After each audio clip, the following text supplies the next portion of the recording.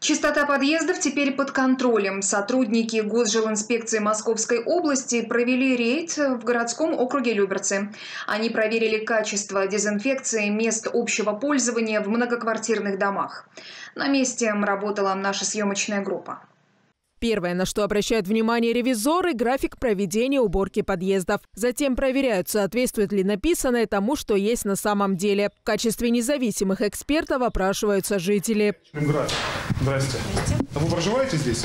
Да. Скажите, как вам уборка? Очень хорошо, все чисто и хлоркой пахнет. Поле зрения сотрудников ГЖИ, входные двери, кнопки домофона, почтовые ящики, перила. Все, до чего дотрагивается человек при входе и выходе из дома. Рейды прошли в нескольких МКД на Попова, Коммунистическая, а также авиаторов. Мы э, объезжаем достаточно много городов, много муниципалитетов. Люберцы далеко не начало и далеко не окончание э, наших, скажем так, контрольных мероприятий. Такие рейды будут проходить на территории Подмосковья каждый день до особого распоряжения губернатора. Луиза Игязарян, Алексей Андреев, телеканал ЛРТ.